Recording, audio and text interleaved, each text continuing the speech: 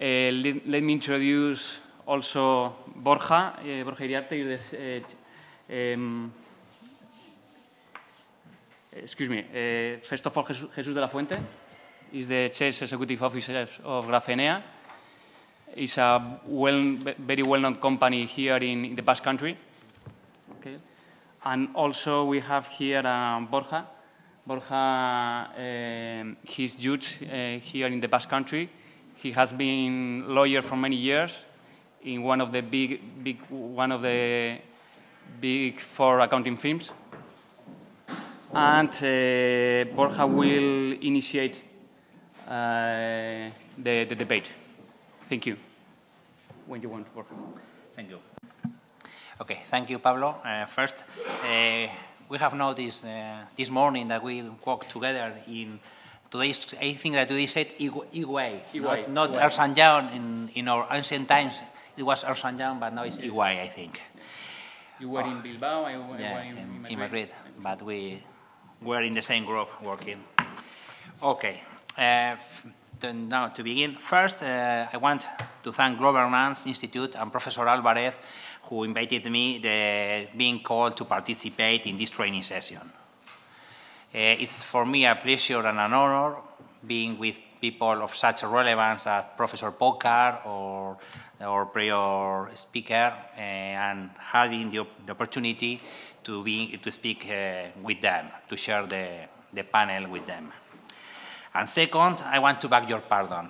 I know that I have, this is my first public speak in English, and I know that I have an awful Spanish accent. Uh, staying in London twice, uh, I, I, make questions in English, and I, and I was directly answered in Spanish. and you can bet that this is quite mortifying. so I beg your pardon. Uh, uh, I, I, will try to do my best. Uh, additionally, I have been given 20 minutes to speak in English. Okay, I usually I don't like to read, but in, but in English I will, I will have to read something of my, uh, or I have to speak uh, about 20 minutes in more on a, on a, on a philosophical than a legal question. And I said I will try to do my best. Wait the question, why I am going to speak about practical difficulties in access to courts, the, the right to due process versus arbitration?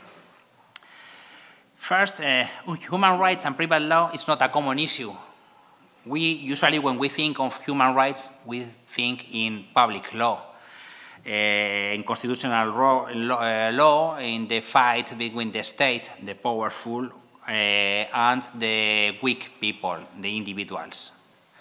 But we usually don't speak of human rights when companies are involved or individuals are involved interacting individuals and companies.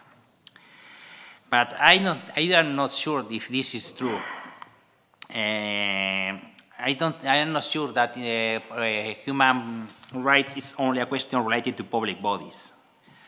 Uh, I think that uh, some questions are also related to private interaction, the interaction of private, of private, private people. Where, for instance, we all agree that administrative action forcing people to go to arbitration instead of two courts uh, or, or, imposing uh, exotic uh, submission to exotic, to exotic courts should be overridden by courts. But this is not clear in um, private relations, only with consumers. We know that uh, that kind of uh, clauses in, imposed to consumers are banned by regulation 44 2001 or now really 1215 uh, 2012 no? Or the law 1 uh, 2007 of uh, protection of consumers. But what happens when um, at corporate level uh, usually people try to say that all companies are equal, no? Uh, but uh, I don't, I don't, I am not completely sure if all of them are, are equal or one, some of them are more equal than others, no? Uh, what happens, uh, what does it happen when a big company, a great client, imposes a, a small supplier an arbitration clause in a contract? Uh, for instance, with submission to Paris court, a CCI arbitration, you have to sign your contract if you want to sell Probably this, uh, we can speak later about that. And they say, okay, no problem, uh, we buy, the, the price is this, uh, the amount uh, to be bought is this, but any dispute regarding this contract will be subject to arbitration before the Paris court, for instance. Uh, is that equitable? For instance, in a 50,000 uh, euros contract? Or is it a way to avoid court's control? Uh, the right to a due process established by the Spanish Constitution about uh, by major treaties on, on human rights. Uh, we know that uh, uh, international arbitration is a complex and expensive matter, so sometimes it's a way to avoiding control by courts. Because if you have to claim 10,000 euros, for instance, uh, probably it's more affordable losing the amount than beginning a, a, a claim before the, the, an international an international and foreign uh, arbitration court. And to speak uh, about that, I will make, uh, okay, I, I, like sports and I like uh, sport law, no? So I will use an example that is the Court of, arbitra of Arbitration for Sports, commonly known of TAS, uh, because it's the most common. Because we, we shall see, uh, first, okay, first, why? Because I think that uh, sports is funny. a lot of people like sport or is interested in sport in some sense, sport is the opium of, of, the opiate of the people of the 21st century, and I think that is, uh, and it's a very important, relevant economic matter, no? Uh, so I think that will be a, a good, a good example for our question. Uh, we usually think that sport, elite sportmen are rich, but it's not true. Eh? Elite sportmen uh, or sportwomen, uh, to be politically correct, uh, are a complex group, group of people which includes several differences, differences inside. Uh, many of them are not, uh, many of the people, okay, really most of the people that go, for instance, to Olympic Games are not rich people. Some of them have several, several problems to, to go to, the, to obtain the money to go to the, to the Olympic Games, no? And all of them, for instance, have mandatorily to submit to any question relating to the Olympic Games before uh, arbitration court in Lausanne, Switzerland, the famous uh, court of, of arbitration for sports. For many of them, an international arbitration procedure, expensive and complex, is almost impossible to follow. I will explain later an example when they decided not to sue the relevant federation and don't go to the uh, World uh, Championship. Uh, and why this, uh, I, I use this uh, example also, because I think that sport arbitration is a good example of the kind of people you find in international big businesses sports people or sports managers uh, usually are above law. We have seen in Spain that uh, just three days ago, the president of the Football Federation, I can see it publicly because he has said in public, has said that he's not worried about the law to be implemented in Spain because he's not subject to law. No? According, and really, uh, uh, Article 78 of FIFA, of FIFE, FIFA, FIFA statutes, uh, uh, says that uh, FIFA, its members, and the confederations are the original owners of all the rights emanating from competitions with, without any restrictions as to content, time, place, and law. They express, expressly said that they will not, uh, that they are not subject to law. Uh, also, uh, there is an interesting document. The International uh, Olympic Committee sent a document to the European Union during the last French presidency, asking, asking for, a, I say literally, special and adequate to sport interpretation of AU treaties. So they said, please let us alone. We are not going to apply. They had one problem with the famous Bosman case, I suppose that you all know, uh, when the European Court had to expressly said that, that professional sportsmen are workers subject to freedom, to, to community freedom. And after that, they wanted to explain to escape for that, and they wanted to, to have their own courts. Uh, and, I, and I make one question. Is it reasonable to look for justice from a body that expressly says that law is now not a matter for them? Eh? The International Federation is not a treaty, an international treaty. It's just a Swiss association, private association. But they say that they are above law. And if you want to go to some relevant competi sport competitions, you have to, to sign a submission clause to a court that is not owned but is related. In the past was directly owned, the court, by the Olympic uh, Committee. Now is related, uh, very, very, very related, but they are independent uh, bodies that they say that they are not subject to law. That's the, that's the, the question, that, that is why I think that is a good example, no? Uh, because they say that the court was just established to avoid problem with courts, with general courts. The court is uh, located at Lausanne uh, in Switzerland uh, and has jurisdiction in major sports questions. For instance, penalties related to major international leagues, doping, sportmen labor contracts, that I think that is against our public order, at least in Spain, but uh, uh, theoretically, any sportsman, elite sportsman that has a labor problem with his team has to claim before the the, Europe, the court international. I think that this is clearly against our, our public order and will be override, well, would be override by Spanish courts, but you have a contract signed saying that. Yeah? And what can you do? Which is the, this is a Swiss as I said, as a Swiss arbitration to arbitration court. No? Their awards, that's, that's one of, I say the translator, I beg them pardon because I'm going to make a, a, a, a game of words, uh, complex to, trans, to translate, no? The word for that results from arbitration is an award, and it reminds me the Academy Awards, no? The, and it's something related, no? Because when you receive a, a judgment or an award, the first thing that you read is who is the winner, no? so, so and the winner is the winner is them, no? So the awards are subject to uh, to to a, re a review by the Federal Court of Switzerland with a limited scope of uh, review similar to Article 41 for arbitration law. Uh, and we will speak. Uh, so you have to go to Switzerland for arbitration. If you don't uh, agree with the award, you have to sue the, to challenge it before a Swiss court, more money.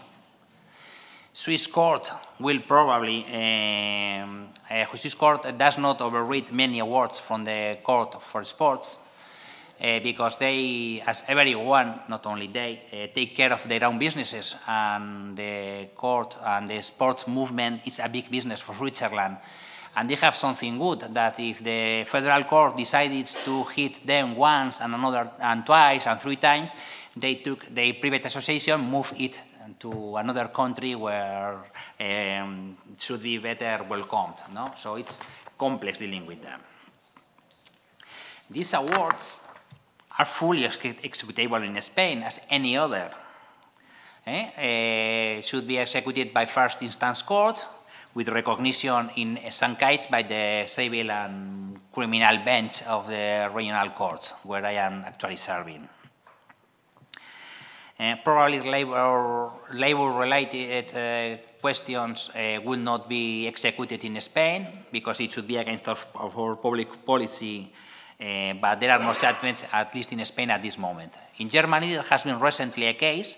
Uh, one federation imposed a sanction over dop doping, uh, over dopate, I think is the word in English, no? Doping, uh, to a sportsman. The sportsman challenged it before the court of, for, of arbitration.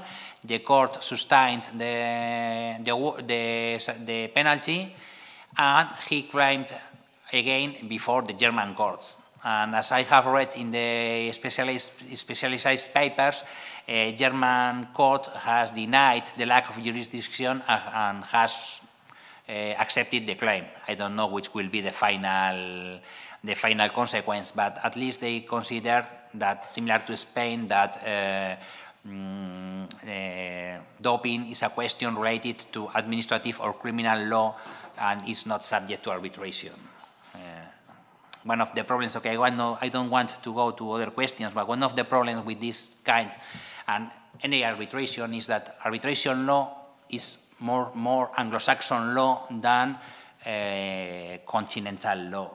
Uh, we see that in arbitration, in sport law, in many other questions, in probably all the 21st century lex mercatoria is more Anglo-Saxon law than continental law, and that will have problems for us, no? because sometimes we have uh, questions in contracts that are not uh, disposable for the parties, uh, and that kind of things.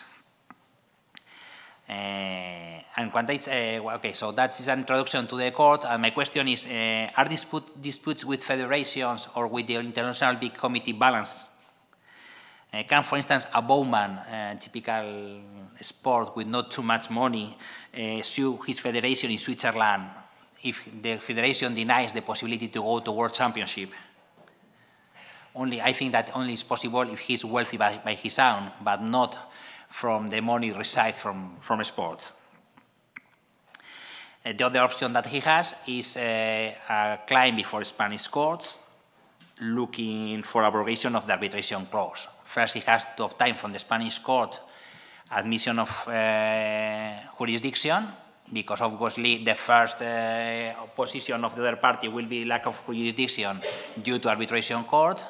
Uh, he will have to convince the judge that uh, the clause is, at least in the first moment, uh, against the, his rights, I think that is a very complex question. And even winning and obtaining a favorable judgment in Spain, uh, export, export entities uh, would probably never execute the judgment. Uh, as, as, I said, they are over courts and law, so it should be, I don't know how to, to execute that kind of sentence, okay, by means of a crime of uh, disobedience, I don't know the word. And if the president of the uh, federation once come to Spain, the international federation comes to Spain and is arrested by police, something that uh, I think that is the only way because they voluntarily will never fulfill the question. Eh? And that, what I said is a real case. One federation in the Basque, uh, the Spanish, but uh, Basque-related sportmen, in a minority, minoritary sportmen, impose a, a penalty to a sportman. Uh, he has been world champion. Uh, that uh, composed of uh, a penalty, a monetary penalty, and he was not allowed to go to the next to the next world championship. He sued the federation before Spanish courts for the penalty and won the procedure and have a favorable judgment, but obviously he didn't challenge before the court of, for arbitration in Lausanne the other penalty, so he couldn't go to the World Championship, and he was he, he might have been for the second time consecutively world champion, but he couldn't. That's one of the consequences that you can have when you've signed um, uh, an arbitration clause.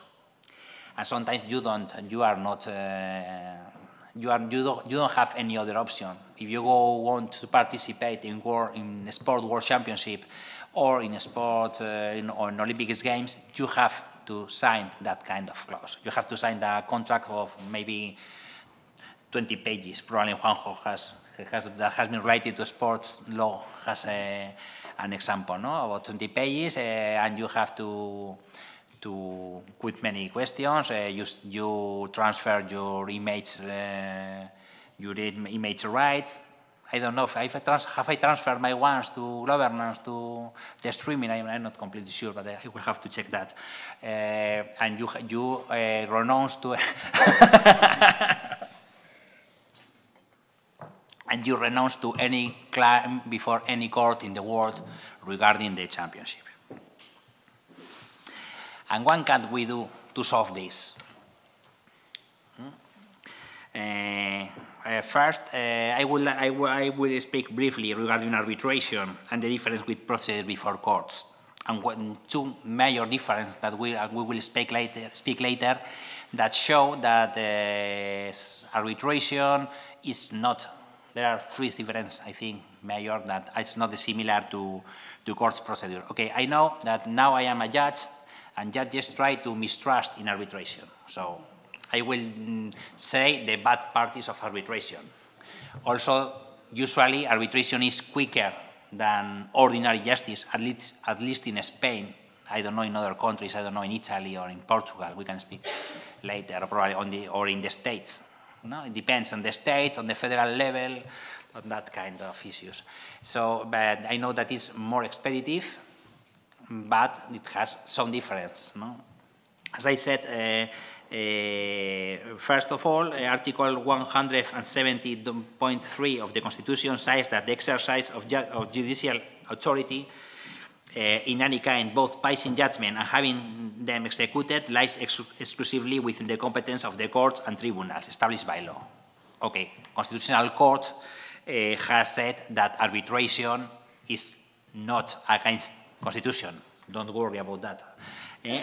It has, the question was raised, no? Because if the Constitution says that only uh, uh, law-established courts are uh, can judge or and execute, is possible arbitration in Spain? Okay, so the Constitutional Court said yes, provided that it fulfills the principle of equality, adversarial procedure, and audi alteram partem. I've taken from a translator. The Constitutional Court in Spain never uses Latin, but uh, Anglo-Saxon lawyers love Latin and consequently continuously use that, that kind of expression. If, this, if, these three principles are not fulfilled, the arbitration should be uh, against constitution. The reality is that at least formally, always are fulfilled these three principles. Uh, when we speak later about uh, procedures against awards, I will say that uh, almost never an award is overruled by Spanish courts. Uh, but uh, because, yeah, and that kind of principles are checked. No? The first difference, uh, significant, is that the arbitrator cannot execute the award, can pass, um, pass, pass judgments sharing, in a sharing competence with courts, but he cannot execute the awards. Execu execution, at least in Spain, always released in the courts. Eh, and this is a very significant difference, as the winner arbitration will need the court help to execute. And sometimes execution of awards is not an easy question in Spain. It is made by first instance courts. Uh, in Madrid is the 101. It sounds a great number. The 101st time deals with arbitration, and I've been said that, for instance, uh, they always uh, ask for the agreement, arbitration agreement, the arbitration clause, also the Spanish law says that the clause can be an exchange of mails or that, or that kind of documents. The ones the court said they showed them as clause one mail stating uh, we we uh, we propose to submit before ex arbitration court con that controversy. The other part answered the mail saying okay, and the first instance court said that this is not an arbitration clause and didn't execute the award. As you can imagine, the winner in the award uh, was very upset. The truth is that that can be a warranty for the defendant if the award is too onerous or against law, but it's a great difficult for awards needing the help of courts because sometimes you have a quick award but a very delayed execution in the court. Additionally, awards are subject to revision to review of courts. According to Article 41 of arbitration law, the uh, civil and criminal chamber of the, uh, of the High Regional Court uh, is the competent to do that. That's the chamber where, where I am actually working. working. But this review can only be based in five questions. Mainly uh, is that arbitration agreement, mainly for our purposes uh, to be taken account, is that arbitration agreement does not exist or is not, is not valid, or that the award is in conflict with public policy. There are other uh, regarding the procedure, uh, when the arbitrator, arbitrator decides on a question submitted of, to decision on other, or other matters, but I think that for my talk today, the relevance are A and E. Uh, especially uh, the arbitration agreement is not valid. For instance, if it is imposed against law or not. Additionally, foreign awards have to be executed in Spain uh, with only with two limitations according to New York Convention that are similar to Article 41 law of the law.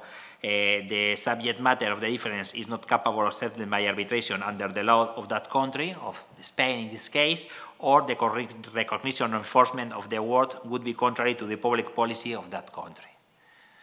Eh, that, as we can see, are in most ways similar, because probably uh, if there is no uh, there is no uh, agreement, arbitration agreement, or it is not valid, probably we could say that it is against the public policy, no? Because public policy, I have a here a note, what is public policy? I don't know. There are several professors of international public law in this room which could uh, explain it obviously better than me, no? But public policy is everything and is nothing. And it's a good reason when you don't want to execute an award, you say, okay, that is against public policy. It's something, I have here um, a, a, definition of Tynet for uh, internet and says uh, uh, public policy is both a ubiquitous and fundamentally important part of private international law. So yeah, they say we don't know what is, and, but it, it's useful for many purposes. Usually to to protect your local defendant from an aggressive uh, foreign plaintiff. No, I think that of public law. I don't know if you agree, the professor or your professor. but it, probably it's not the academic purpose, but probably it's the most most times used uh, pur, uh, the purpose that most times have been used. No. Uh, and I have a, a, big definition that I will not read. Uh, uh, I say the it defines the limits of the tolerance of difference implicit in rules of choice of law and the recognition and enforcement of foreign judgments. It has, however, been frequently criticized for its uncertainty and discretionary character, the proper definition size. And that will be usually the fight uh, in my experience. Uh, I only have experience with international awards. We have not had any international award execution or recognition before court uh, since I am a member, uh, but all, everyone says that uh, the award is against the public policy because the other, um, the other reasons, if the arbitrator is at least a little bit careful with his work, it's almost impossible that he's not congruent, that there is no arbitration clause. Uh, always it's against public policy. Typical claim is the valuation of the proof is against public policy. And we have to say, valuation of the proof, proof valuation, sorry, is not a matter that can be reviewed by the court because everyone uh, tries to, to make a second instance. And that's another important question. Procedure from Article 41 is not a second, second instance, you say, in English? Second, uh, eh? and it's not an appeal. Okay. I've been reading John Grisham books for three days to try to obtain this vocabulary, but I am losing it. uh, the appeal is not an appeal, it's a special procedure, procedure just in a few matters. Eh? And if we leave away these, uh, concrete matters, the word is fully enforceable in Spain by means of courts. Additionally, another problem with arbitration, and I think that is important, submission to clauses, is, and especially to protect the um, weaker part of the contractual relationship, is that arbitration, arbitrators cannot make preliminary question either before, neither before the Spanish Constitutional Court nor the European Court. And this is very important. An arbitrator, if he thinks that a law is against the Constitution or the European Union, cannot make a preliminary judgment. Probably he might raise the question uh, in the award and the court that has to review the award could make either one of them, either one or the other, but the truth is that he cannot do that. Also, recently a property register in, in the Basque country has said that a post-constitutional law is against the constitution and has denied description of the, of the deed. I suppose that my colleagues will do something with that. And finally, it's uh, another relevant question that arbitration and that I mentioned above. Arbitration is very expensive. And I think that is the main matter relating when you have to sign, for instance, your company, you have international clients, I suppose, and you sell something to a um, company in Canada, and they say, okay, no problem, but arbitration will be before the Manitoba Arbitration Court. And you say, okay, that's funny. What is Manitoba? First question, I think that's in Canada. no, Wikipedia is funny for that kind of questions because you seem that you are working and you are working in Wikipedia. What is this? No, and but this is a way that being assured that uh, you will not never have an arbitration claim before the Manitoba court, or only will have that if this that your final solution, but not for that for that contract by the final solution by your company. Probably you will try if you find money and a Manitoba lawyer who wants to work with a Spanish small company who, who will, will have to pay in advance, for instance, the lawyer in in Canada. So this, uh, and taking that into account. Uh, and being arbitration always complementary to regular justice, eh, there is a way that once we have uh, signed uh, an arbitration clause, anyone that is not a consumer that we have, we have seen is protected by, cons by consumer legislation against arbitration or submission to courts uh, clauses that are exotic to the contractual relationship, uh, can we do something? Because Article 24 of the Constitution says that every person has the right to obtain the effective protection of the judges and the courts in, in the exercise of his, his or her legitimate rights and interests. And in no, in no case may he go undefended. Mm? And all persons have the right to access to the ordinary judge predetermined by law. Can we, on the basis of that, challenge a clause of arbitration if we are a company that have signed a contract stating that. It's not an easy matter. Uh, um, we, we know that mandatory, once, uh, once a law in Spain establishes a mandatory um, arbitration uh, regarding land transportation, it was an, the Constitutional Court in 1995 uh, uh, Uh, uh, said that uh, mandatory uh, arbitration established by law is against the Spanish constitution. Eh? but what happens is says there is no law, but it's business negotiation that what makes us to sign that.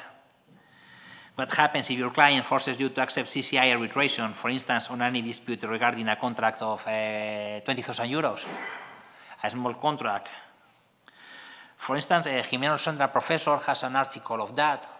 Uh, I think that he has also member, he has also been a member of the Constitutional Court or uh, any kind of public body has been, and he says that, for in his opinion, uh, that kind of clauses establishes in standard preformulated contracts uh, are against the probably are not valid under Spanish law. Uh, and that kind of contracts are very common in consumers, but also in companies, are very typical. Uh, you receive an, pedido, I know the word in English, it's a purchase order, sorry, uh, from your client, and you look there, and it says, I want uh, one, mm, I don't know, I want one piece of um, iron, and you look around and you have uh, a small letter six, the full page in the back. And one of the things says that any dispute will be subject to, uh, to the courts of um, usually the domicile of the, of the main contractor. Uh, he says that also uh, a standard contract has to be signed, for instance, to, as I said, to go to Olympic Games. It's not the back page, it's about uh, 10 or 20 pages, but it's a standard contract. Every sportsman that goes there has to sign. No? Uh, Cristiano Ronaldo inclu included. He has gone, I think not, because Portugal usually uh, does not go to. Is uh, Antonio yes. so what happens if you have to sign that contract? Can you sue it before courts that clause? Can we claim that you have a defect in contract in consent pursuant uh, Article 1265 of the Spanish Civil Code that said that consent given pursuant to error, duress, intimidation, or fraudulent, fraudulent misrepresentation shall be null and void? I think that is a good question. I have no answer. As I said, I am just I, I've just come to make questions to you, not to solve them. We shall try to solve them all jointly, and I think that we, we will not solve because uh, we are up to when the Supreme Court or the European Court has a rule on that, uh, we cannot say. I had a, a, professor when I was studying procedure, procedure law in Spain that said that truth is, okay, he said in Spain, that sounds better, verdad es lo que en sala de cinco dicen tres that in English, in English is uh, the truth is what in a chamber of five say three. I have to explain that in the past, when this uh, sentence was made, uh, in Spanish courts, in Supreme Courts, always well chambers of five members, with one sole exception, a very sometimes has been mentioned in the ancient in the uh, before, no, when the previous uh, speaking has spoke about the death penalty, no capital penalty, uh, when the Supreme Court has a, a case uh, that was related to criminal to uh, death penalty, the chamber was of was of seven members, and they needed five to sentence to death. It was a, it was supposed to be a a guarantee of the, but usually major legal decisions in Spain were taken by chambers of five. So three of them were enough to say what is truth in Spain for legal purposes. So up to what time that today, in a chamber of three, say two, uh, in this matter, uh, we cannot say if the, we can defend that uh, an arbitration clause is against Article 1265 of the Civil Code. Uh, because, okay, we can claim, but we, will it be successful? Can we uh, uh, allegate that there is intimidation? It is a very complex proof problem, probably, and a very complex perception by the members of the court of what are business relationships. Notice that we don't have an Anglo-Saxon system of justice where judges are former lawyers mainly or former professors. Uh, probably 70% of Spanish judges are people well trained, but their only work has been being a judge. They made the exam just when they finish the career. I suppose that in Italy is similar, no? You have an exam, but you don't need any kind of legal experience before, only your degree and knowing a lot of papers that I have to recognize that I will probably never have been capable to learn. That's why I, I exited by the other way to the, to the courts. No? But uh, so when you have been dealing with, negoci with negotiations, as for instance Pablo is dealing now, I suppose, you know that um, equality of the parties is a, um, a nice word, but probably is not the reality always 50 to 50 I've never been. I've been 60 to 40 maybe, and I've been uh, 85 to 15, and you have to defend your 15 as, as one as you can. And if you impose a, a strange uh, arbitration clause, for instance, you sign and you pray that it will never be needed. No? Can you claim intimidation, fraudulent misrepresentation? I don't know quite what will be which will be the procedure to challenge that, uh, that, uh, that clause, because Professor Gimeno Sendra uh, um, makes a, a procedure, no? He says you have to denounce the defect from the beginning, even before fulfillment, because he says, for instance, you have to denounce the defect from the beginning, even before fulfillment of contract obligations. Okay, so you sign the contract, and before fulfilling your obligations, you say that the contract is not valid. What happens in real world if you do that? If you do that? That you will never receive your money. That's the fair answer. Yeah. Eh? Will you lose your contract or will you keep it? Afterwards, you have to opposite the arbitration to arbitration procedure. Okay, that you can do. You can say, I think that the, there is no valid arbitration clause because I was uh, intimidated by my client, maybe. And the challenge the award before the relevant court when you have an award that says that the that the clause is, is uh, correct according to law and also that the word is against your interest. The court, can the court, and the court could be the constitutional or European question, no? Uh, and trying to, to discuss, discuss if there is a public order. But this procedure works if you are the defendant. But what happens if you are the, if you are the claimant? You have to sue the other part. You can go to court, sue before court. The other part will immediately say that the court is not, has no jurisdiction. If the court says I have jurisdiction, okay, you continue continue before court. But if the court says, okay, the other the defendant is uh, okay, I have no jurisdiction, you have then go to arbitration lose arbitration, and afterwards, in execution and arbitration, uh, try to prove that the relevant clause is against law. Okay, that is funny. It's interesting. It has been it, that uh, interpretation of law has been given me the, the, opportunity to speak to you, but you all, we all know that this is not uh, in real world. This is not a solution because it's long, expensive, complex, the client, you lose your client, for, of course, he will never buy you. Eh? And can a company do that? I don't know. I am going to conclude. I don't know how, for how much time I have been speaking. If I 40, 40 minutes. Eh? 40 minutes. 40 minutes? Yes. My, my holy goodness. uh, yet to conclude, I say again that I have no answer. And probably, is, uh, I don't know how you say in English that me enrollo como las, las persianas. I suppose that is a translation, but, but I don't know. Eh, uh, probably the general answer I say is that pacta sunt servanda, and if you have signed the contract, including an arbitration clause, you have to deal with it and live with it.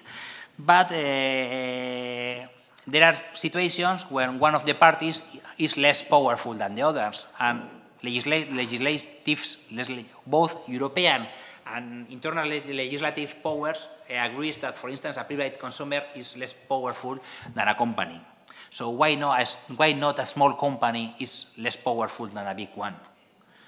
Eh, uh, why do they not need uh, legisla legislative protection or court protection? That is my personal opinion uh, I raised the question and I would like to, to hear your opinions. Now it's your time. Just giving again my appreciation to Globernance Institute for allowing me to speak here today. And, I, and again, begging your pardon for my English. As I said, this is my first public speech in, in English. Uh, and I, I, hope that it will, it, will be, it will not be the last one. Thank you very much. Thank you.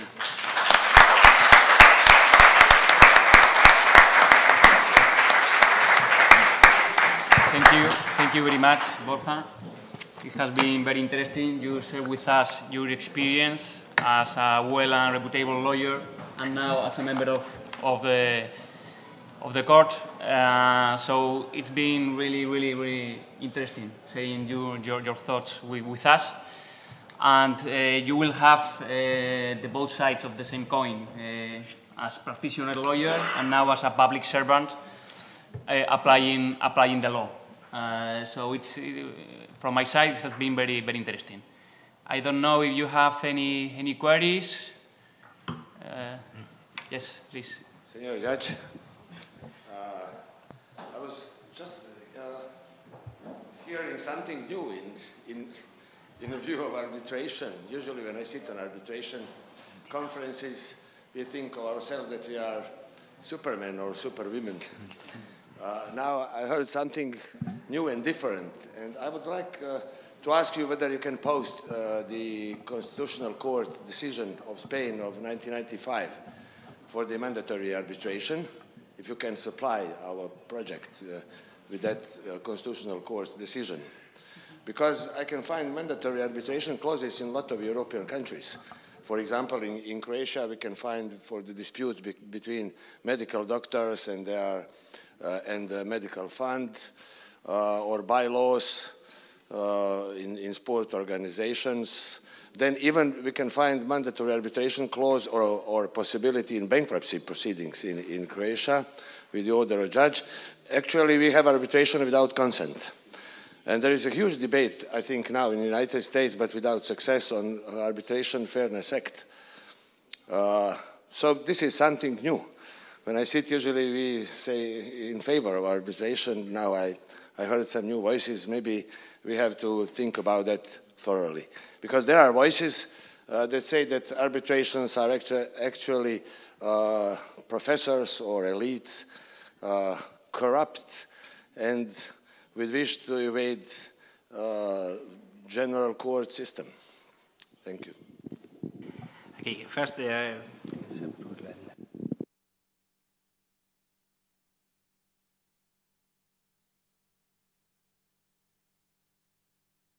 Okay, uh, the, okay, yes, uh, the question uh, was raised in the law for land transport established that several contracts issued by company had to be submitted to arbitration. It was challenged before the court. The judgment, I have the number here, it's from 1995. I will I have the number here. I will provide you later. Uh, and it said that it's against the right to a due procedure. What they said is that um, uh, always the parties ha must have the right to deny arbitration and to go before courts. Now it has been, it has been substituted by a system of um, voluntary arbitration. For, that was, um, besides, it was for small claims regarding trans, uh, uh, transportation of, of goods. Uh, but it was a challenge. The court said that it was against the, the law uh, for forcing, one, forcing the parties to go to arbitration. Now it has been submitted, substituted by a new system of voluntary arbitration, voluntary, highly encouraged by the law arbitration. But uh, because you have, but one of the parties can, in in a stage say that they don't want arbitration. I think I am not uh, uh, an expert in arbitration, in sorry, in transport uh, questions, in transport uh, questions, so I don't know what is happening really in in the companies. I suppose that mainly main companies uh, will go to arbitration because it's small, it's, it's for small for small amounts and in companies for small amounts, maybe if both companies are similar, maybe useful because it's very quick, the procedure. Also for consumers, uh, public uh, bodies in Spain are encouraging arbitration for consumers, trying to avoid, if you buy a, a, mobile phone and it doesn't work properly, they don't want to go to court with that. They prefer to go to, to, to consumer arbitration courts but the individual, the consumer, always can go to court. Only the company can say, the company say, I will go always to arbitration, has to go once the consumer has decided. But it's not uh, mandatory. I don't know which is the reason. Okay, I've made a joke about uh, mistrust in arbitration by courts and by judges. It's a joke, but it's not a complete joke, as I say. Uh, some of my colleagues and I may share this opinion to some extent, not fully, think that uh, sometimes there's a big discussion in Spain, okay, we are privatizing um, edu education. Oh, that's horrible. We are privatizing, uh, privatizing uh, healthcare. Oh, that's horrible. We are privatizing justice. That's fine. That's modern. That's marvelous. that is what we see in the paper, in the media. I, I, don't, I am not giving an opinion. And some say, okay, be careful with arbitration. Eh? Because sometimes it's a complex matter. You move sometimes uh, in Anglo-Saxon legal system. What is, uh, you are from Croatia, I no, I think. So, and I think do you have a continental legal system? But when you move uh, around, um, around Anglo-Saxon legal system, but it's very common now in the today's lex mercatoria is mainly Anglo-Saxon legal system, no? And contract, an agreement of uh, uh, 200 pages, 20 pages of definitions. I don't know why, why they are, why, what do they serve for. I suppose that in Anglo-Saxon law is very important, but from our perspective as practicing lawyers in Spain, okay, definition. Parties. Parties will mean party. Okay, I know, no? I have a friend that made a joke. He always made a joke, no? And. And means that the previous word and the subsequent word go together, no? Definition of and, no? because sometimes you read something like that in the contracts, no? And one of the problems of arbitration is that the uh, uh, influence of Anglo-Saxon legal system that I don't see that is uh, I don't say that it is worse than us. I think that we are taking the bad part because the criminal, the guarantees of the parties in criminal procedure that are very important in Anglo-Saxon world are less important for us, and I think that uh, that's a capital issue. Eh? The right, uh, the pres presumption of innocence is said in English. The right to not declare against you that kind of thing. We are not taking that, but all the private law is uh, flooding over the businesses now, in sports, for instance. The Court of, of Arbitration for Sports is fully uh, uh, in, aligned with the Anglo-Saxon. labor questions are, are, subject to arbitration or can be subject to arbitration in many countries in the Anglo-Saxon world. Doping is a private question, not a public question in the Anglo-Saxon world. Okay, so if, if, it, if it has to do with drug smuggling, yes, it's a public question. But if you have a pill that is fully legal, but it makes you run quicker, that's not a, private question. That is not a public question, sorry, no? So that's why I think that arbitration uh, has to be in some, to some extent uh, taken in, with care by us because sometimes you signed uh, an arbitration clause and you have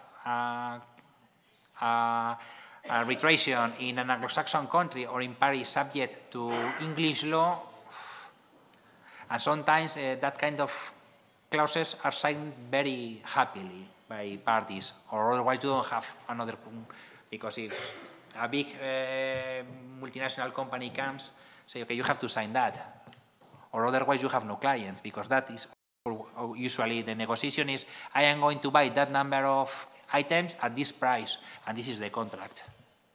And you say, but I want to change. Okay, that's funny. No.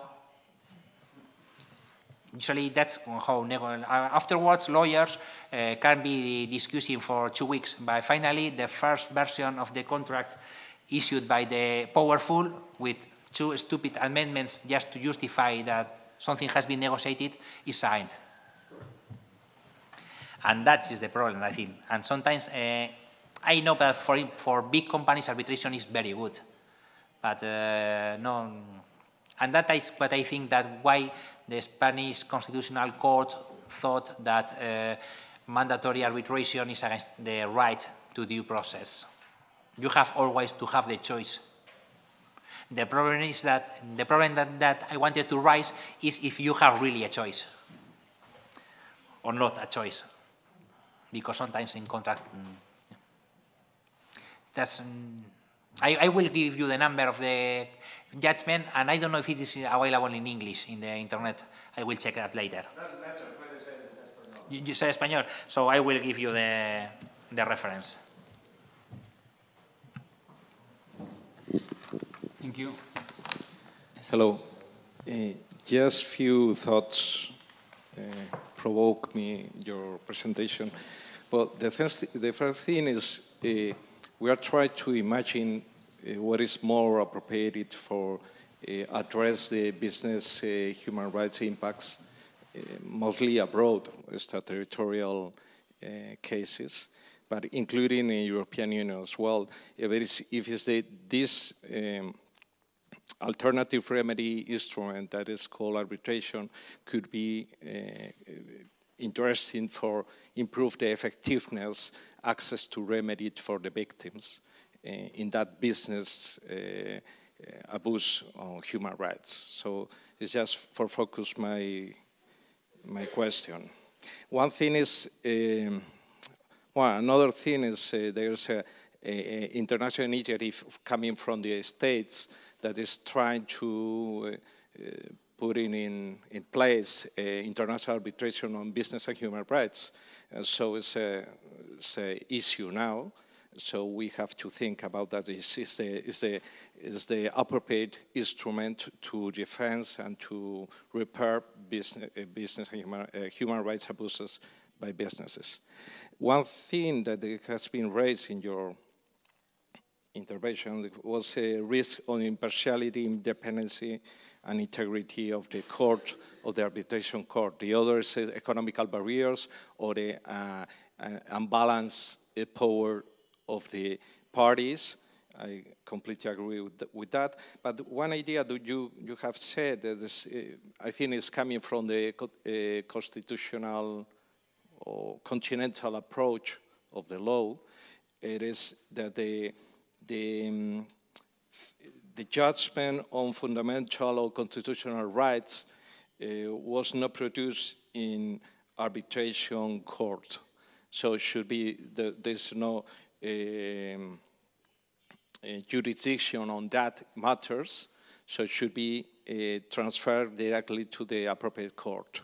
I think just for verify that is, that's right, because in that case, uh, business, uh, human rights violation should be part of fundamental rights. So uh, uh, that should, I assume that the consequence of that, that arbitration is not the right tool to, to resolve that. The other thing is in, in the, the, the approach of a, a human right abuse or violation could be a civil commercial litigation or civil commercial law, but we're looking for a, a conflict between businesses, suppliers and, and, and the company, or, but even a criminal effect as well. So uh, in, in that case, I consider that in the grave abuses uh, violation, arbitration is not the appropriate grievance mechanism, but it's just for confirming with you, what, what your opinion? Yeah, criminal issues. Yeah, the grave human rights abuses yeah, that could be uh, used the, the arbitration. And, from, from our uh, perspective, uh, criminal, no, no, we, we, no, now we are having in Spain criminal mediation that is very strange uh, to us. Not arbitration, but mediadores, uh, mediators in small crimes. But for criminal law, I think that uh, that it's a complex from our, perspective of law. I don't know if in the States it's possible to have an arbitration no, no, on crime. I don't mean that the criminal law should be do it by arbitration. I, say, I said if it's a grave human rights abuses, yeah. could be a criminal offense yeah. on that so uh, maybe it's not the best way to to pursue the, the, the, persecution of that or to the, the, access to remedy on that tool. Okay. But uh, the point is, just what do you think that is the, the, um, the, the, the, the human rights violation should be or could be uh, resolved in, in arbitration scheme? Uh, one question first. Uh, when I've when I've been speaking about arbitration, I've said that uh, arbitration gives rise to some troubles, and I know that I've mentioned, as I was speaking, the problem with uh, impartiality of the arbiter. But what, I, what I try to explain with the problem, I am not saying that arbitra arbitrators are less reliable than judges. There are good arbitrators and bad arbitrators, and good, good judges and bad judges. What I say is that having a procedure abroad is complex.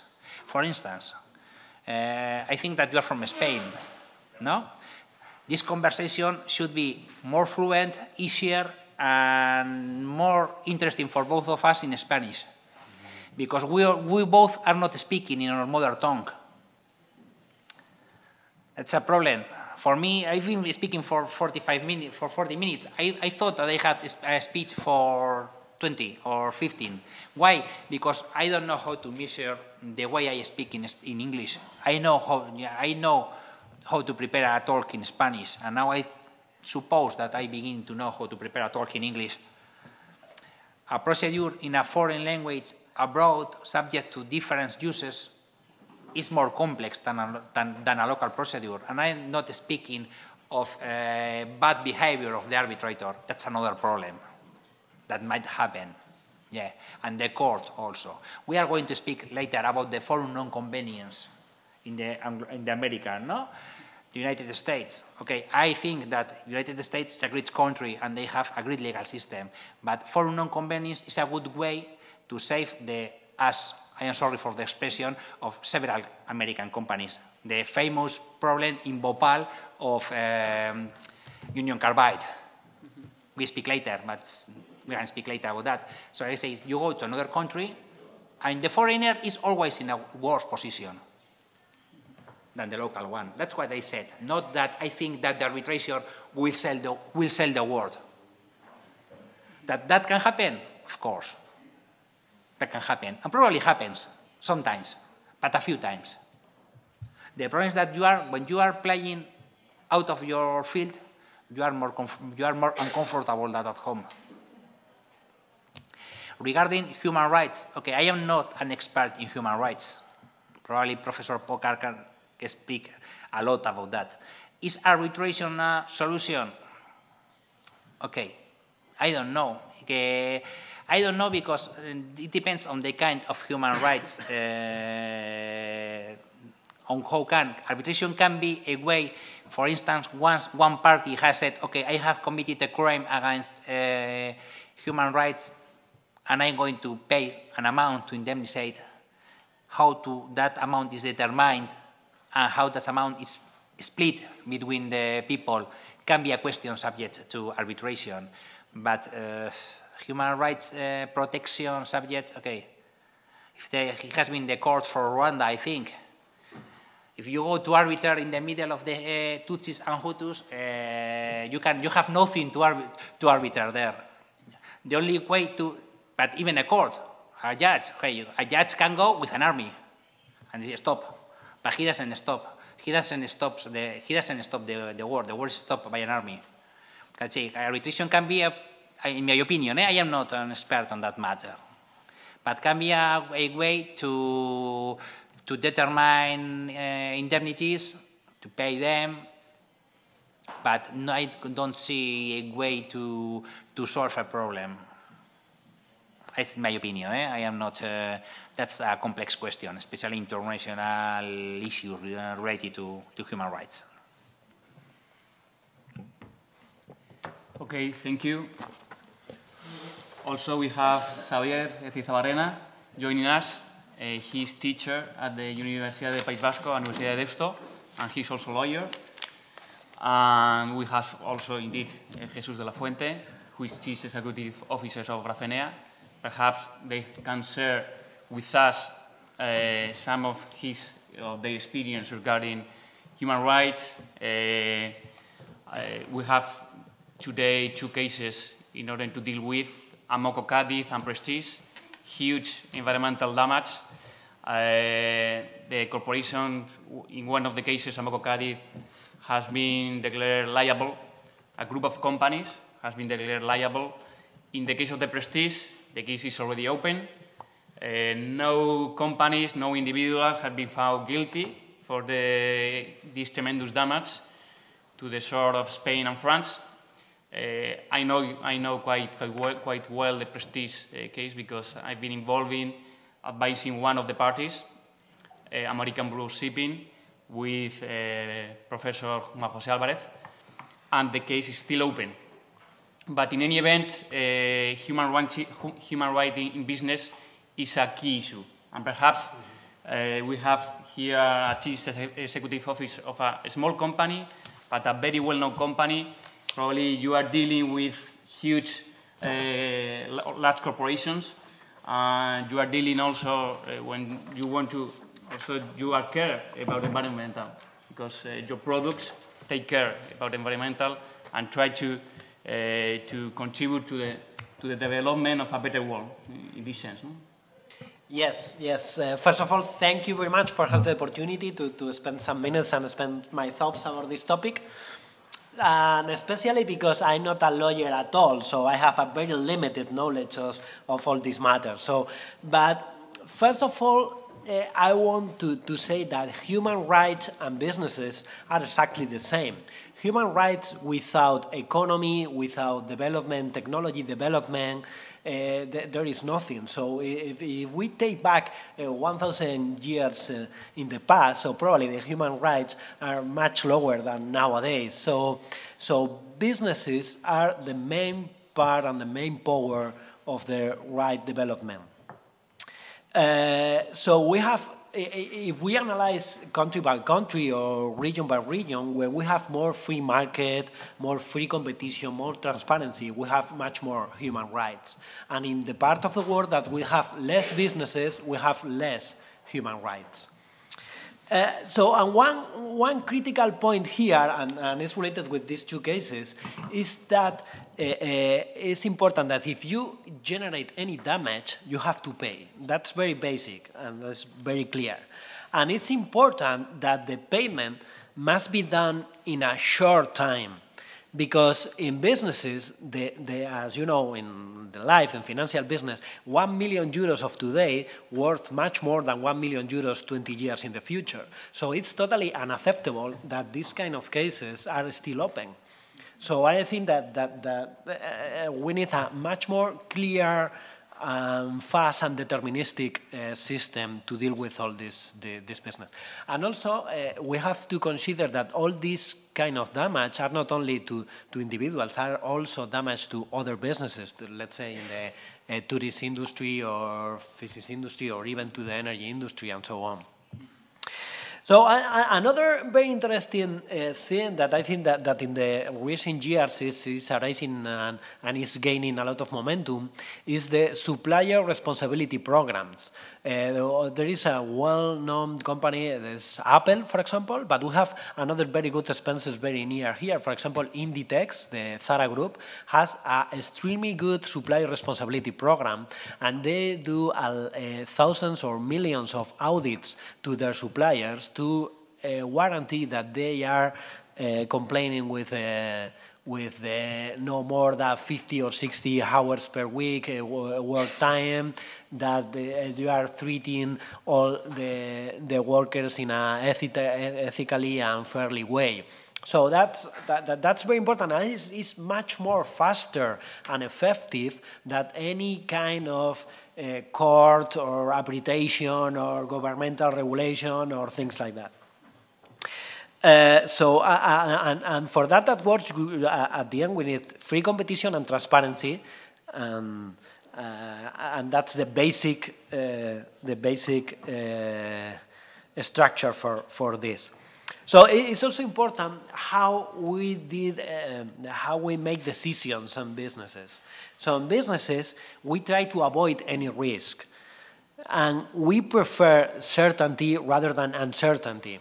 So it's, it's very important to have a clear uh, perception that if any businesses or any individual is going to make a damage, that individual or that business will have to pay. That's important. So the main violation to the human rights are these very snail justice processes.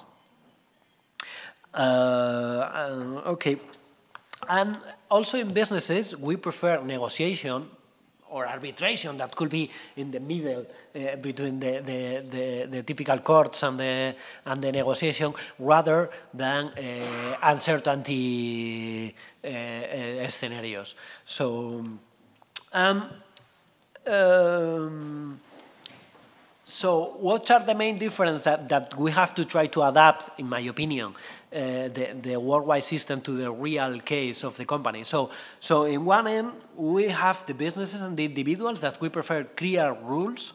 So in the typical uh, justice systems, we have complex and non-deterministic uh, rules. So for the similar case, you have different uh, outputs, so that, that, that's totally crazy.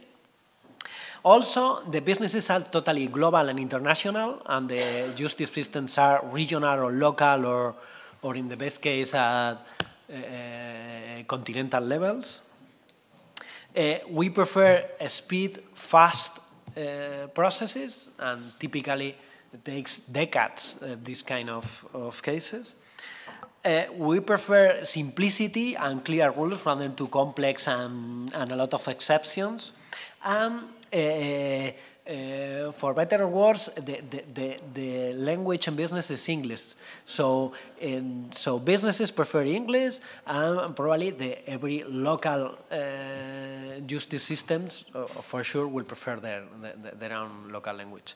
So, at the end, uh, just my, my, main message here is that businesses and economic development is the base of the human rights, and we have to protect businesses and human rights because they are exactly the same. And it's unacceptable to have this snail justice system and this complex justice system. Mm -hmm. Thank you. Thank you very much, Jesus. Uh, the issue, for example, your company is a limited liability company, right? So yeah. you, you as shareholder and the rest of the shareholders of your company uh, know that they have the protection of a company yes. in order to avoid being declared liable uh, for the company debts. But this is not the case of Amoco Cadiz. Okay, this is not the case of Amoco Cadiz because in this case in Amoco Cadiz, because, uh, as I said, the general rule is limited liability for limited liability companies, for corporations.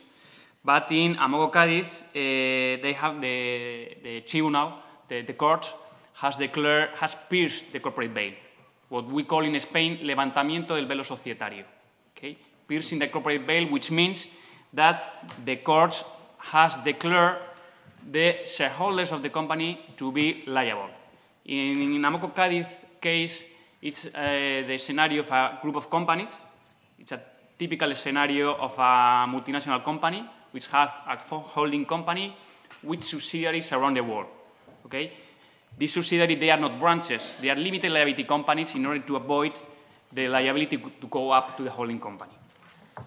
So um, in order to apply the doctrine of piercing the corporate veil, there are some factors to be taken into account. Uh, one of the factors is whether the, the limited liability company is adequately capitalized. Another issue is the if the corporate formalities has been followed. Then, uh, if one of the entity of the group of companies is an alter ego or is instrumentally to the other entity. Whether the defendant, stockholder, or member has engaged in fraud or wrongdoing. And finally, whether the case involves tort uh, non-contractual liability or contractual, contractual claim. Regarding the, the first issue uh, for piercing the corporate veil, the capitalization, international courts uh, use different measures to assess whether a corporation is or not adequately, adequately capitalized. And these measures depend on the nature and magnitude of the corporate undertakings. Uh, if the capital is deemed to be illusory, compared with the business to be executed by the, by the corporation, an entity can be deemed un un undercapitalized and then be, the shareholders be uh, declared liable for the company debts or for the company li li liabilities. Uh, in Spain, it's quite difficult this to occur because in Spanish law, uh, the Spanish law foreseen a minimum capitalized for limited liability companies. Okay? And also depending of the type of business the company is going to execute, it has also uh, some minimum of capitalized to be reached. For example, private equity firms have uh, an increase of this limitation of, capital, of capitability. In the States, no, this does not happen. Uh, for example, a corporation or a limited liability company in the state, normally, it could be capitalized whatever you want, with the amount you want. So it is very important to uh, capitalize the company in the way the type of business is going to execute. Otherwise, the doctrine of piercing the corporate veil, it could be applied. Uh, another issue the, is the observation of of uh, corporate formalities upon incorporation and on the day-to-day -day issues of the, of the companies. For example, if a company has distributed dividends without fulfilling the corporate rules for distributing dividends, if a company is an alter ego of, of, its, of its mother company, uh, and this is one of the one of the issues that the American courts apply in order to declare the liability of the Amoco Cadiz. Also the, the fraud when executing a business or the wrongdoing. And finally, the type of claim. is not the same uh, non-contractual liability, like Amoco Cadiz or like Prestige. We are talking of a non-contractual liability than a contractual liability. Uh, courts often distinguish between tort and contract claims for piercing the corporate veil purpose.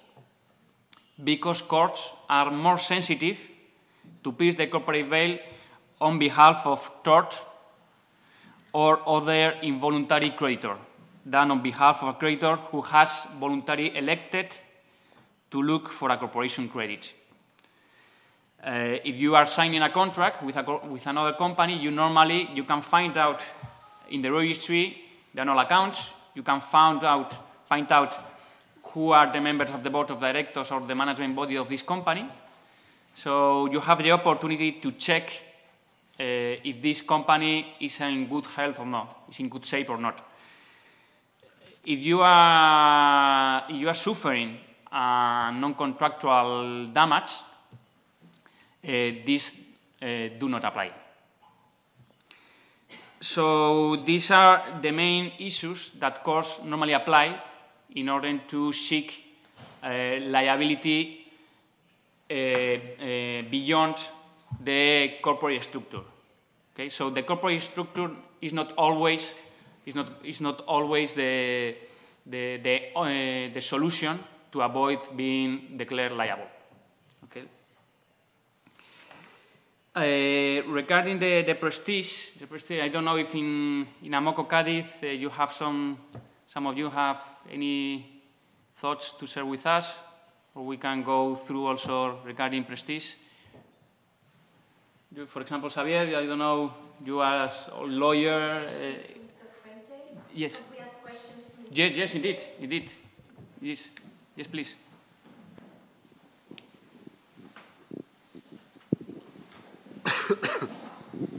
Thank you. I'm Catherine Kessedjian from Paris. I'm a professor at the university. I teach human rights and business. Uh -huh. And I am also um, an arbitrator and a mediator. Um, it's, it's wonderful that you have accepted to be on the panel because it's very rare that we have businesses represented in those meetings. When we speak about human rights and business, usually we have a lot of NGOs, some uh, advocates, sometimes judges, but very often the business seat is empty. So thank you, this is wonderful. thank you. I have one question for you and one remark. Okay.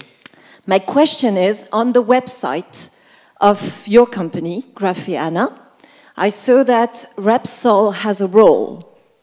And my question to you is what kind of a role Repsol has in your company, whether it's your mother company, whether it has invested and has some control over your company.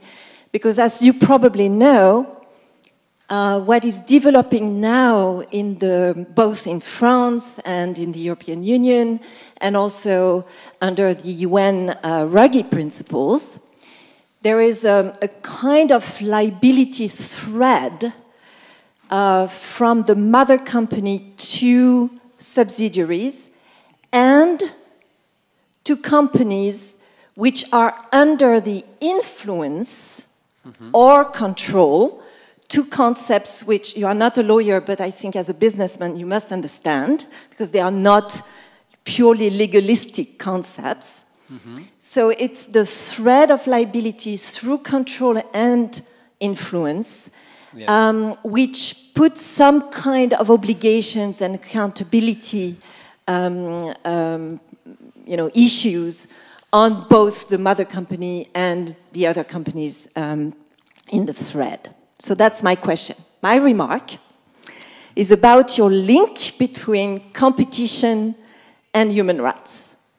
And I must say here, I respectfully, completely disagree with you.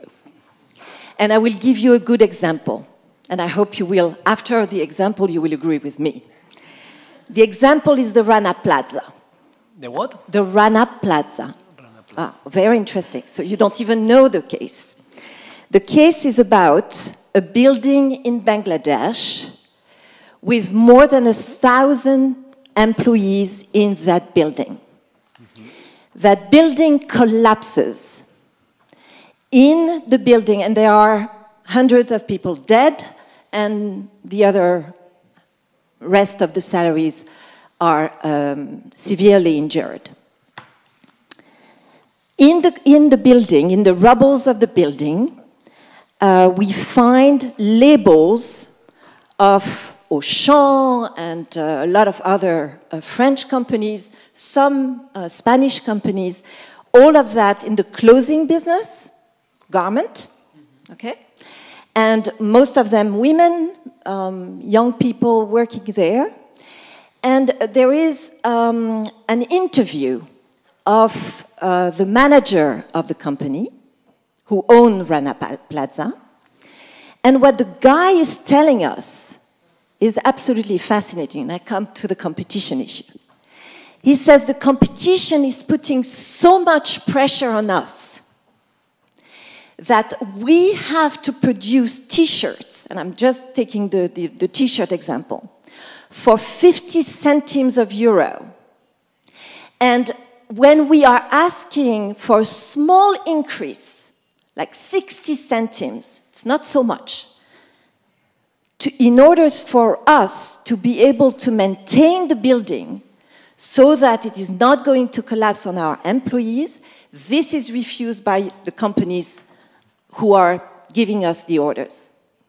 So more competition, in my view, cannot be equated with human rights. Yes, the problem is that you have different markets there.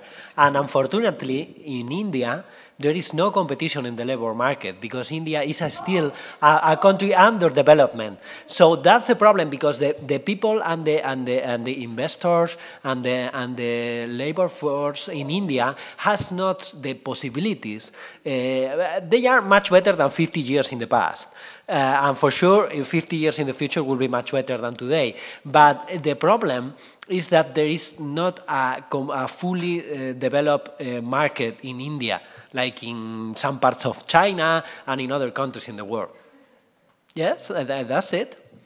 That's it. If you have, if, if the people has the rights to, to, to select where the company they want to, to work. Uh, the talent people and the smart people will work for the better companies and they have the better salaries and the better working conditions and they will be much more productive. And that's exactly that happens in all the parts of the world from Spain to US to China and also in India. And the, I, I, agree that India is a especially large and complex uh, uh, country, and they have a lot of uh, cultural challenges and a lot of things there. But, but, but I'm not an expert on India, but, but for sure, the economic development in India uh, is helping uh, to increase the life expectancy, uh, reduce the poverty, and so on. But the, the bad side is we have a, a, a, long work still in India and in other countries of the world, especially in Africa too. Yeah. And, and answering the, the, the question about Repsol, Repsol is an investor for us. Um, so the, the, venture capital fund of the company, and, and I totally agree with you. And for example, we received several audits from them, uh, to, to, to assure that we have complied with all the regulations, uh, protection of the environment, health and safety, uh, for sure, financial and so on, yes. And also it's my main concern because I'm the main stockholder of the company and my main concern is to try to generate value. So, and the way to generate value is not to break the rules or make damage to rest. So the, the make to generate value is to try to do things in the right way and, and produce really good uh, uh, materials for the rest of the, of the community, for the rest of the business industry. So, and that's our focus. Yeah. Thank you. Thank you. Uh, I don't know if Xabier, uh, you, do you want to share some, some issues with us? Yes. Okay, very briefly. First of all, I would like to thank you very much to the organizers and Globernance, Katerina Yanivas, and all the, the team for the opportunity. It is always a, a pleasure being here. Secondly, to present my excuses because I, I was late. So, uh, well, there was a session in the provincial parliament about waste management, and this is an issue nowadays in Guipuzcoa. I never thought that I was going to be involved in waste management from the political, legal point of view, but that's a part of my, of my, of my issue, of my topic nowadays, so, so my excuses. Going to, to the topic, what I will just try to do is to make like a, a very, very brief uh, comparative approach uh, among both cases, no? the Amoco Cadiz and the Prestige. It is a, a very complex thing, and we've heard uh, a, few, a, few, a few things about it. Um, in particular, well, the, the, complexity of the piercing of the veil and so on. It is a complex thing in, in, in civil law, in, in market law, in criminal law, and even in, in, environmental law, which is my, my field in theory. So I'm going to speak uh, from the point of view of, of an environmental lawyer. Uh, I could be speaking from another point of view, but uh, in this case, from the point of view of the environment, of the conservation of the res resources, of the protection of nature, let me say that the, the portrait is, is very poor, in my view. Of course, it is a subjective point of view, but it is also based uh, upon practice. And, and if we could analyze the, that idea in, in three, four uh, main sub-ideas, what I would suggest firstly is the, the, the timing, for example, no? because the, the Amoco Cadiz took place in the 78, uh, and the Prestige took, uh, happened in, in 2002. So there's a long time uh, between both accidents. And we'll see how, for example, the legal response of the US jurisdiction, I think you, have been hearing about it during the, the last time, well, it is arguable, but it is an advanced uh, response. It is a serious response. In terms of uh, qualitative and the quantitative approach of the liability, it is a much uh, higher approach than the Spanish jurisdiction with the prestige, for example. So in terms of the timing, we can say, wait, from, from the 78 towards 2002, there's a huge evolution on law in European Union, in Spain, in the US, and so on. But the solution given in the first uh, judgment at the United States in the 88 is much more advanced than, than, than the Spanish solution in 2012. And, and, not, and not very pro-American in that way, and more, more, more an Anglo-Saxon uh, guy. But let me say, in this sense, well, in the European Union, we are still far away from the solutions of the United States. And let me suggest that, for example, in the United States, there are two fields which are very, very strict and very serious. One is consumers law, when something happens uh, concerning consuming, it is a serious thing in the US. And another one is environmental law. Another thing is how the United States behaves internationally with environmental law. but in domestic issues, it is a, a, a, an important point. And we see how they deal, in a way, with the Amoco Cadiz, with a very uh, strict liability, and with a very important amount of, of uh, civil liability in the first appeal, eh? and even a higher one in the second appeal. On the other hand, we see that, that in, in the Spanish case, well, the case went through the criminal court. Firstly, was against the, the captain of the, of the tanker, um, and the result is extremely poor. In terms of liability, there's nearly nothing. In terms of liability, there is only the P&I system of protection, which is okay, that is fine, but it has nothing to do with environmental law. It has nothing to do with the protection of the environment. It has nothing to do with the protection and conservation of fisheries. That's another thing. It's the classic idea of civil law, um, direct economic uh, damage, and profit and, and lose profit. that, that, was in, invented by Romans. I mean, so it is not a huge advance. So that would be a, a, first idea.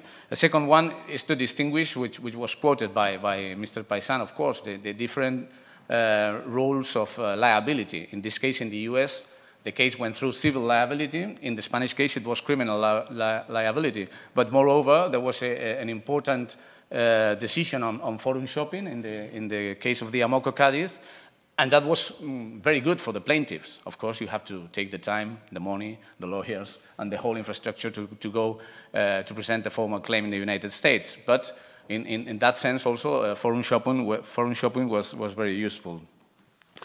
Um, so th th those would be like two, three main, main, main ideas. No? In, in another way, if we try to link the whole thing with human rights, it is also an issue, and it is a very complicated issue because we, we, we would require to go to the regulation of every country. And, well, for example, in the Spanish case, we got a provision concerning the environment in Article 45, uh, which uh, assumes that there is a right uh, to an adequate environment in Spain, but even though it is a fundamental right, it is not uh, a right that we could directly apply uh, onto the Constitutional Court, eh, because the, those are only between the 14th and the 30th.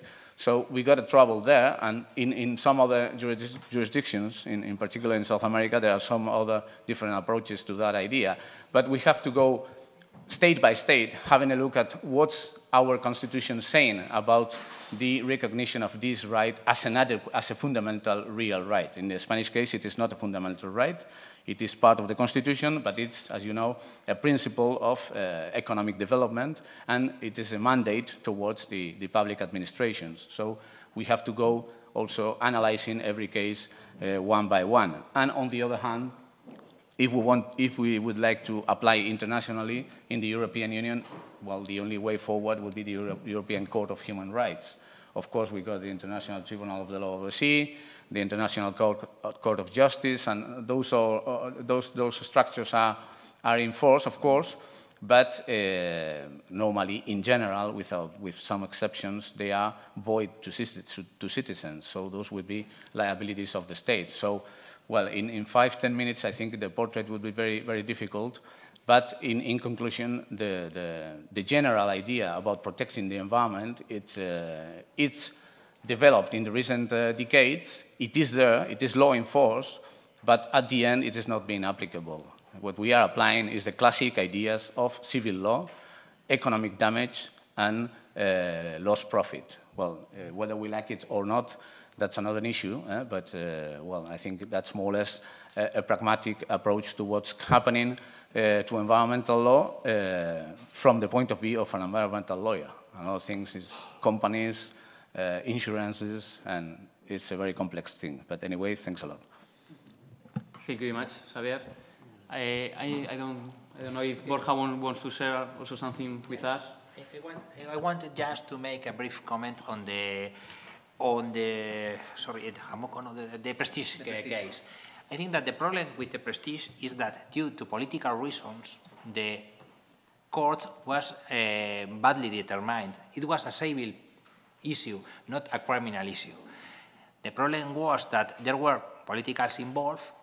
Criminal courts are more sexy than civil ones. You have search warrants, people to prison. That sounds great for the papers.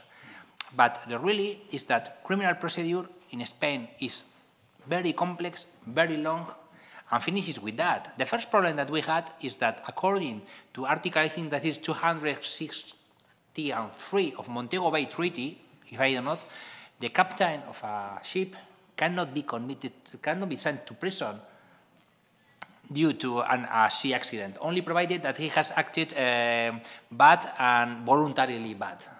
No? And that uh, the um, prestige case has finished as many people has predicted that that's going to finish. But the problem is that the people, especially due to political pressures, decided that go to, if this, and in criminal courts, uh, you have to be more careful with the, first, in Spain at that time, we could not uh, condemn companies. Only from 2010, uh, there is the possibility to establish that companies are uh, liable to, pen, to, criminal, to crimes. Uh, so you cannot go to the company, you cannot uh, pierce the veil, you cannot make many things in the criminal courts that could, could uh, might be done in the civil courts. Even you can try to do forum shopping, as finally the Spanish government tried to do forum shopping in the, in the United States, and they couldn't achieve that. But in criminal courts, you cannot make uh, forum shopping. You cannot uh, sue before the federal court or in the criminal bench because there is no federal crime in Spain, no? Okay, some, some of them in, the, in Ronda, in Rotam, those countries, there are some problems of that, but not, not here. But the problem is that the, this, this is very typical in Spain. When I was practicing as a lawyer, it was typical the discussion within the firm.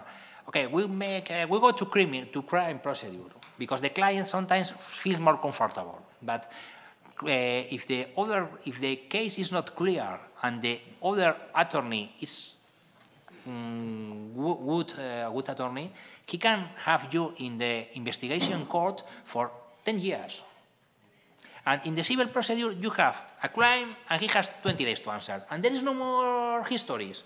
Uh, but in, the, in, in, the, in our criminal procedure, in the investigation phase, everything, can, uh, everything uh, can be appealed. Uh, so you are continuously with uh, small appeals that stop the procedure. Uh, you have more care, more troubles of constitutional law. You have to take care of the, of the rights of the people. So it was just a political decision just to fill in press uh, front pages that has finishes in that. And I think that the Supreme Court will do the same. I don't know, but I think that it will be the same. No? Thank you. Thank you very much, Borja. Uh, I don't know if someone from the, yes, is some, someone who wants to share also his thought with us. No, it's just a very quick remark on the on the La Fuente speech.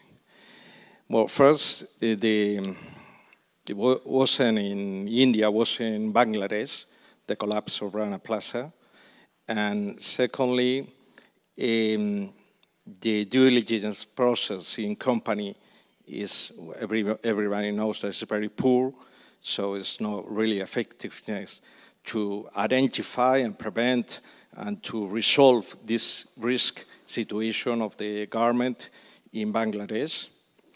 And secondly, the, we, we, got a, a world problem that is a big impunity and the poor effectiveness of the grievance mechanisms or remedy, access to remedy for the victims. So it's no, it's no opinion is recognition from the United Nations, and this is a big problem.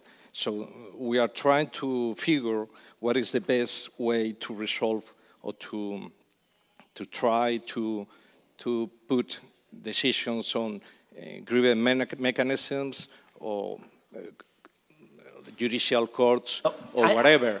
so it's, it's no uh, debate of, uh, de uh, about uh, I, I think that, that the, probably the, the, the best tool nowadays is try to use the more popular the supplier responsibility reports uh, by large companies like Inditex or H&M or whatever in, in this in this industry on the garments industry and they have to publish all the results of external audits with external auditors that check all the supplier value chain and uh, identify those kind of problems. Because probably, I don't know the, the, the, local regulation in Bangladesh, but, but here the responsibility of uh, uh, the technical of the building responsibility. Uh, uh, so, so, probably in, in that case, the company must be not operating for sure. But I know that India is a complex country and probably the, the local regulation is not enforced. But so I think that transparency and supplier responsibility programs are a very good tool to guarantee all this kind. For sure will be uh, terrible accidents or, or, terrible problems in the future. Uh, for sure will be because risk, that there is no zero risk on any business activity, on any human activity. There is no zero risk. But we have to avoid and we have to guarantee that if someone acts in the bad way, they have to damage, even if it's not in. Uh, uh, uh, even if they are doing everything okay, but they have uh, generating a damage, uh, that company has to pay. That, that's the big way that have the market to, to try to resolve these, these problems. Okay, I think that, sorry, one of the problems with uh, suppliers in the third world is that uh, the local legislation uh, allows what is happening. And sometimes we don't remember that uh, that happened in Spain not many years ago. Uh, my father began, began to work before he was 14. Yes. And was typical. And now we have changed. And they have to change. But what we, sometimes happens that uh, we try, for instance, the index of death in working accident in Spain for a, in Sweden is incredible. They say, okay, you are a third world, and we're in some sense a third world country because we have ratios absolutely, absolutely unacceptable for Northern Europe countries. And we don't think that is so, uh, but uh, you say uh, one, I think that is one worker per day or two per, that's, uh, that's not common in other countries. And I think that that kind of countries have to evolutionate. And I think that we in the first world have a problem with that, uh, that problem of the, um, the supplier responsibility, responsibility programs, that sometimes European consumers do not act according to a consumer responsibility program. What I try to say is, okay, I want a shirt from Zara, cheap, nice, change every year. That is impossible. Only with the children in Bangladesh. That is the only way. So probably what I have to do is don't buy in shirts in Zara. I am not saying that I have to do or that I am doing. I am too old and fat to buy clothes in Zara. But uh, what the idea is that I think that sometimes, like, okay, uh, I want a shirt, 20 euros, but I want uh, Amancio to solve that. Okay, and he solves that, buying the shirt by, for, by, for 15 cents in, in Bangladesh, or in Indonesia, or in many other countries. Or even in Morocco, so it's not necessarily going too far away. In Morocco, we have that problem. And in some, I would like to know how much did he pay 20 years ago in Galicia, for instance, to the people that were uh, cosiendo, uh, necting, no? How do you say coser? Uh, showing. What I say sometimes the consumers have a power on that. Okay, say, and say, uh, but not you, but our attitude sometimes is, uh, okay, I want your product as you sell it today, but I want to change your chain of production. And probably what we, what we have to say is, first, if you continue this way, I will not buy you. And second, I know that to improve the way of life of people in Bangladesh, I have to pay not 20, but 25 it's something that sometimes is not accepted. And, and it's part that we don't know our past. Or we don't want, we know our past, but we don't want to speak about that because children working, okay, our parents' generation were children working. With 14, before 14, my, my father before 14 was working in a company. And in the, in the land, in the agricultural works, with 10 years. People that today are 70 were working with 10 years in Spain. So we have to know what is our past and how has changed. And this is the way to change that. And why has changed? Because we have purchased more things, I think, and more expensive things. And that makes, but the, the, the attitude that is the, no, okay, they have to change, okay, because it's unacceptable. Okay, it's unacceptable, and I think that it's unacceptable that people uh, younger than 16 maybe are working. But it's part of our country not too many years ago. Okay? And the index of accidents in Spain, for instance, is unacceptable. It's unacceptable. Mm -hmm. And people uh, from the northern, in Europe, uh, you have read the statistics from the European Union, they say, okay, what is happening in Spain? I know that most of the, uh, there is a problem with the accidents in itinerary that changes the statistics, I know. But I suppose that also Swedish have accidents in itinerary and they have uh, very, uh, they have a worse uh, climatology to drive and they have less accidents. This other thing that we have to, to think about. But what it is, okay, that has to change, and I agree. But I don't know if the attitude in the first world that we are having is the because we don't. Uh, uh, I don't. I am not asking for a boycott to Inditex, eh? because sometimes uh, tomorrow in the paper saying uh, Justice in Bilbao asks boycott for Inditex because this work is, works this way. But what I say is, okay, if we want they change their chain of supply, probably we have to change our, our chain of supply. And sometimes it's something that, uh, and, I, I, and I think that they have to change, but they say, okay, no, if they, they fulfill local requirements, legal requirements, everyone. And, and, that's happening. And we have some examples that that's happening. For example, the Nike uh, has a, a, a, real problem with that, and, and the stock value of the market capitalization of Nike company drop a lot, and they have uh, problems with the sales. So, so I think that, that that is working. But the human being has a solution for that, that is economic development. So uh, 200 years in the past, we were living in the same conditions like in no, India nowadays, or, or, or 50. 50, 50 years ago, years ago. So, so we have uh, we have the same problem. So and, and we have to focus on guarantee the freedom of the people and freedom of the businesses in, in, in those countries because it's the only way uh, to move forward and to be much more uh, uh developing developed economies. Well, just short remark. I'm not, I'm not going to monopolize the dialogue, but uh, just what is the role of law in this discussion and opinion? Because obviously there's another drivers that consumer pressure, any investor pressure, but what is the role of law and what is the role of access to justice in that case is that the grave violations of human rights, because it's the, the, the, the, the issue that we are discussing here. Obviously, there are another drivers. But and, and the, uh, obviously, I, am not. I, I, disagree completely with the, the competition approach. I'm, I'm, I'm economist, and and this really unfair competition when in the cases that we are talking ab about, because we are talking about human rights dumping in in economy market. So we are not ab ab discussing about the fair competition between actors. We are discussing about unfair competition to, to get profits for human rights abuses. I, I, agree that you have to reduce and avoid unfair competition. I agree. I totally agree with that. And the tools are there. And the problem uh, that I mentioned before, so the, an ideal system must be fast, simple, and must make uh, penalties, direct penalties to the to the damage and to the infringements, but not only to the individuals, also to the businesses, and must be deterministics. So in the same case, uh, or a similar case must have the, the, the, the, same output. So, in my opinion, that, that's the best, the best tool. Please, please, Javier. Yeah, if I may try to, to answer that complicated question, I would suggest only that the role of law is to try to ease to every citizen the right to claim uh, on behalf of the rights. Well, that in theory, it's very easy, in theory.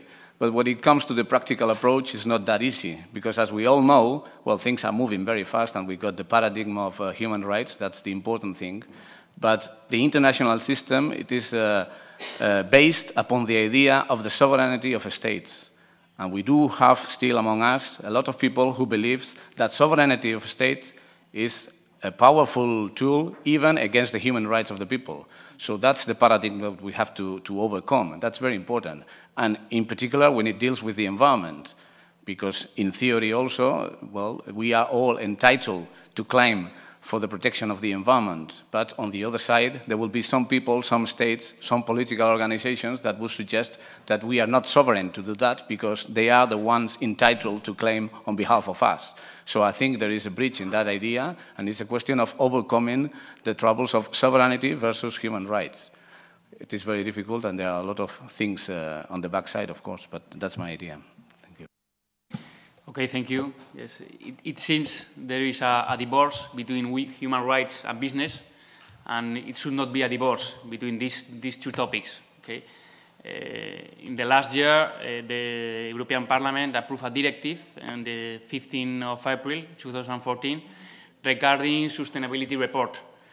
In order to impose listed companies to include in the corporate governance report this, this kind of topics, how the companies uh, treat its, uh, their employees, how they uh, deal with the environmental issues, how they deal with the subsidiaries in, in other countries, not in the development world. So I think um, it seems it seems there is a divorce between business and human rights, but it's, we have all of us, uh, lawyers, practitioners, policymakers, try to uh, that these two worlds, human rights and business, to go together.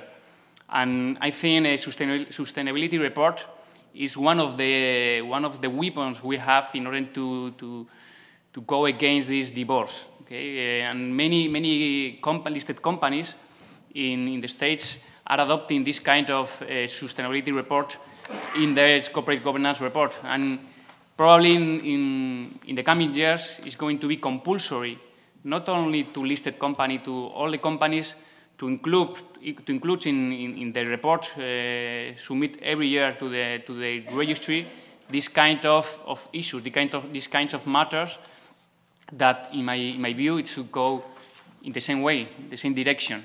Okay. I don't know if, yes, you, do you have any, any other issues, any other queries? Okay, thank you very much indeed. Thank you, Xabier, Jesus, Borja, and thank you very much, Globernance, for the opportunity of being here with you and sharing our thoughts with you. And if you don't have any, uh, you, okay, at three o'clock we will come back. Okay, thank you very much.